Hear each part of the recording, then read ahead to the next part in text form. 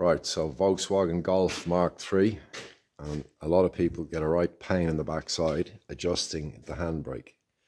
So what you want to do, I'm on the driver's side, and if you look in through there, you see absolutely nothing because it's dark, but bear with me. If you come around to this side, which is also extremely dark, you will see a little silver lever with a spring. That one and that's what you're going after. So bear with me again as we walk around here. You need a flat screwdriver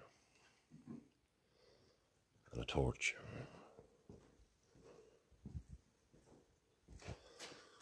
And this little chap here, well, this is going to be impossible to show you in one hand. See where the spring catches in? You're shoving him up. And by shoving him up, that releases the shoes and lets you get the brake drum off. So bear with me and I'll attempt.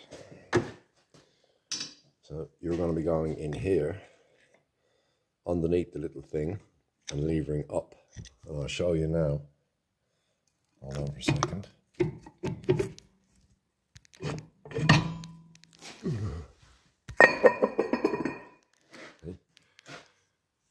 This chap here.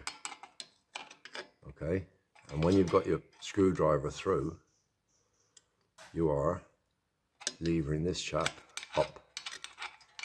Yeah, and by levering this chap up, that releases the pressure on the adjuster. So you're sticking your screwdriver in underneath and levering that chap up. And that will release the shoes and let you take the drum off. Hope that helps.